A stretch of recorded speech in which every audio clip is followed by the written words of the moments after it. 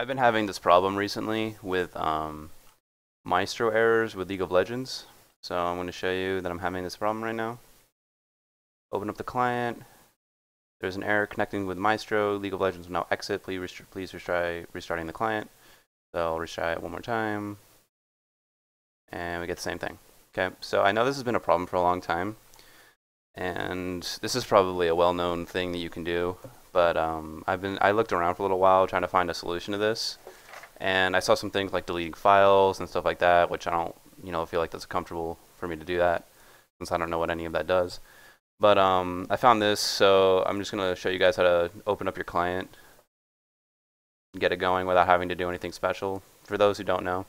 So what you're going to do is you're going to go into Computer. This is Windows 7, but I'm sure you can figure out where your computer button is. You're going to go into Local Disk, Riot Games, League of Legends. You're going to hit Launcher, and just open it that way instead of the shortcut. And play. And that's it. That's all you got to do. Just go through your file, just go through your computer files, and just open it that way.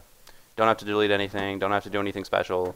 Um, I haven't been. I've never gotten a Maestro error before. Um, before patch 4.2, but I mean it's pretty easy to open your client without too much trouble. So uh, there you go.